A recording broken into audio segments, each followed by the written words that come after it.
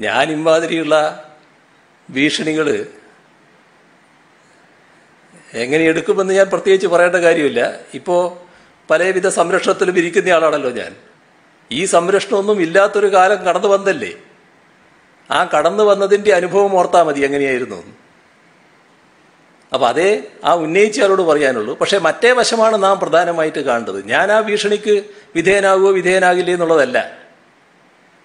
ഇങ്ങനൊരു വശം ഈ രാജ്യത്തിന്റെ ഭരണം കൈയാളുന്ന ഒരു പാർട്ടിയുടെ പ്രധാനപ്പെട്ട നേതാവ് ആ പാർട്ടിയുടെ ചില ആളുകൾ ഇപ്പോൾ അന്വേഷണ വിധേയരാകുന്നു എന്ന വാർത്തകൾ വരുമ്പോൾ ആ അന്വേഷണം തുടരുകയാണെങ്കിൽ ഇവിടുത്തെ മുഖ്യമന്ത്രിയെ തന്നെ വീട്ടിൽ കിടന്നുറങ്ങാൻ അനുവദിക്കില്ല എന്ന് പറയുന്നിടത്തേക്ക് വരുന്നു. അത് നാം ഗൗരവമായിട്ട് കാണണം. മുഖ്യമന്ത്രി പിണറായി വിജയൻ പറഞ്ഞതുപോലെ നമ്മൾ സാധാരണഗതിയിൽ നടത്തുന്ന ഒരു രാഷ്ട്രീയമായ ആക്ഷേപത്തിനപ്പുറത്ത് വ്യക്തി ആക്ഷേപത്തിനൊക്കെ അപ്പുറത്ത്. അതിനൊക്കെ അതൊക്കെ നമുക്ക് സഹിക്കാവുന്നുള്ള കാര്യമാണ്. ഇവരുടെ ഭീഷണിയോ ഇവരുടെ വ്യക്തി ആക്ഷേപമോ ഒന്നും ഇതുവരെയും ഏശിയിട്ടില്ലാത്ത അത് നേർക്കുനേർ നിന്ന് നേരെ നിന്ന് ഉന്നയിക്കാൻ പോലും ധൈര്യമില്ലാത്ത കുറേ ആളുകൾ. പിണറായി വിജയനെ സംബന്ധിച്ചിടത്തോളം ഇത്തരം ഘട്ടങ്ങളെയൊക്കെ എത്രയോ കാലങ്ങളായി അതിജീവിച്ചു വന്ന ഒരാൾ എന്നുള്ളത് കൊണ്ട് തന്നെ അതൊന്നും ആ നിലയിൽ ഏശില്ല. പക്ഷേ ഇത് പിണറായി വിജയൻ എന്നുള്ള വ്യക്തിക്കപ്പുറത്ത് നമ്മുടെ സംസ്ഥാനത്തിന്റെ മുഖ്യമന്ത്രിക്ക് നേരെയുള്ള വെല്ലുവിളിയാണ്. ആ വെല്ലുവിളിക്കെതിരെ ഇവിടുത്തെ ജനങ്ങളുടെ സ്വാഭാവിക പ്രതിഷേധമുണ്ടാവും. ആ പ്രതിഷേധം അവർ സോഷ്യൽ മീഡിയയിൽ കൂടി പങ്കുവച്ച് തുടങ്ങിയിരിക്കുന്നു. യഥാർത്ഥത്തിൽ ഈ എ എൻ രാധാകൃഷ്ണൻ എന്ന് പറയുന്നത് ഒരു പേടിച്ചു തുറിയാണ്. നമ്മൾ യതീഷ് ചന്ദ്രയുടെ കാര്യത്തിൽ കണ്ടതാണ്. ശബരിമലയിൽ വെച്ച് പൊൻ രാധാകൃഷ്ണന്റെ സന്ദർശനവുമായി ബന്ധപ്പെട്ട് ഞങ്ങളുടെ മിനിസ്റ്ററെ അങ്ങോട്ട് വഴിയിൽ തടഞ്ഞ് യതീഷ് ചന്ദ്രയെ ഇപ്പോൾ ശരിയായി കളയും കാശ്മീരിൽ ലയിപ്പിച്ച് കളയും ചവിട്ടി ഇല്ലാതാക്കി കളയുമെന്നൊക്കെ വെല്ലുവിളി നടത്തി. അപ്പോൾ യതീഷ് ചന്ദ്ര അന്നൊന്ന് തുറുപ്പിച്ച് നോക്കിയപ്പോൾ അവിടെ നിന്ന് നിൽപ്പ് മൂത്രമൊഴിച്ച് ശബരിമലയിൽ നിന്ന് ഓടിയിറങ്ങിയ ടീമാണ്. അന്ന് ശബരിമലയിൽ വേണ്ടാതീരത്തിന് നേതൃത്വം നൽകിയ പൊൻ രാധാകൃഷ്ണൻ ഇതുവരെ പൊങ്ങിയിട്ടില്ല. ലോക്സഭാ തെരഞ്ഞെടുപ്പിൽ ആദ്യം തോറ്റു അത് കഴിഞ്ഞ് ഉപതെരഞ്ഞെടുപ്പിൽ പിന്നെയും തോറ്റു. അങ്ങനെ തോൽവിയുടെ വലിയ ഭാരവുമേന്തിയ ആ സ്വാമിയെ ശരണമയ്യപ്പ വിളിച്ച് അവിടെ കലാപത്തിന് ശ്രമം നടത്തിയ ആ മനുഷ്യനും ഒരു മൂലയ്ക്ക് ഒതുങ്ങിയിരിക്കുന്നു.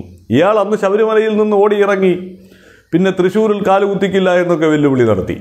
എല്ലാം വീടിനകത്തിരുന്നായിരുന്നു ഈ വെല്ലുവിളികളൊക്കെ നടത്തിയത്. പുറത്തിറങ്ങി ഒരു വെല്ലുവിളിയും നടത്തിയില്ല. യതീഷ്ചന്ദ്ര അതിനുശേഷവും അതിനു മുമ്പുമൊക്കെ തൃശ്ശൂരിൽ ആത്മാഭിമാനത്തോടു കൂടി തന്നെ പണിയെടുത്തു. ഒരു കാശ്മീരിലേക്ക് യതീഷ് ചന്ദ്ര പോയിട്ടില്ല എന്നുള്ള യാഥാർത്ഥ്യം നമ്മുടെ മുന്നിൽ നിൽക്കുന്നു. ഇതുപോലെയായിരുന്നു ഇയാളുടെ പരിപാടികളൊക്കെ. മൈക്കിന് മുന്നിൽ വന്നിരിക്കുമ്പോൾ ക്യാമറയ്ക്ക് മുന്നിൽ വന്നിരിക്കുമ്പോൾ നാലാളുകളെ കാണുമ്പോൾ വായിൽ തോന്നുന്നത് വിളിച്ചു പറയുക. പക്ഷേ ആ വായിൽ തോന്നുന്നത് വിളിച്ചു പറയുന്നതിന്റെ കൂട്ടത്തിൽ ഇപ്പോൾ ഈ വിളിച്ചു പറയുന്നതിനും പിണറായി വിജയനെയും സർക്കാരിനെയും പ്രകോപിപ്പിക്കാൻ ശ്രമിച്ചതിനും പിന്നിൽ കൃത്യമായ ഒരു അജണ്ടയുണ്ടായിരുന്നു. ആ അജണ്ട കെ സുരേന്ദ്രന് ഏതൊക്കെയോ സ്വാധീനത്തിന്റെ അടിസ്ഥാനത്തിൽ താൽക്കാലികമായെങ്കിലും ബി ജെ പിയുടെ കേന്ദ്ര നേതൃത്വത്തിൽ നിന്നൊരു ചെറിയ പിന്തുണ ലഭിക്കുന്നുണ്ട് എന്നുള്ള ആശങ്കയാണ്. ആ ആശങ്കയുടെ അടിസ്ഥാനത്തിൽ സുരേന്ദ്രനെ അവിടെ നിന്ന് ചവിട്ടിത്തെറിപ്പിക്കുക എന്നുള്ളത് എ എൻ രാധാകൃഷ്ണൻ അടക്കമുള്ളവരുടെ വലിയ മോഹമാണ്.